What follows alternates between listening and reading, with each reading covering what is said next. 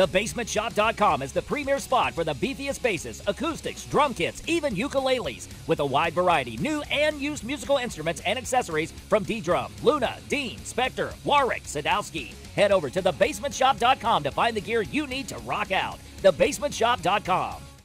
On Thursday, April 6, Mountain Comprehensive Care Center hosted their annual Stand Up for a Brighter Tomorrow conference at the Mountain Arts Center. The conference is focused on sexual assault awareness and featured a number of guest speakers, including Prestonsburg Mayor Les Stapleton. This is the first time the conference has taken place over a two day period. This is the first time we've ever done a two day conference, but it's our 22nd annual conference.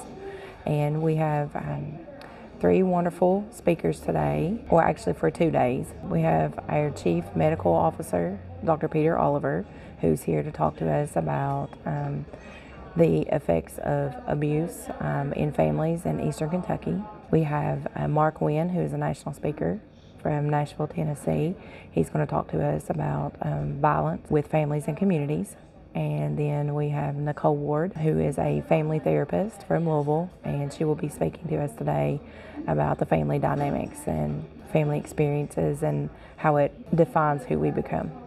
Green is thankful for the support of the other healthcare and recovery organizations in attendance. Mountain Comprehensive Care Center is dedicated to making the region a safer place for everyone. We have um, 18 vendors today.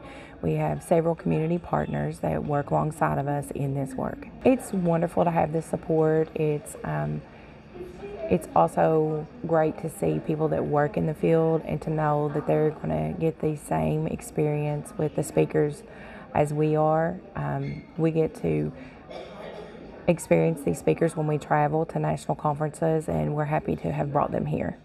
Reporting for Mountaintop News, I'm Nick Collum.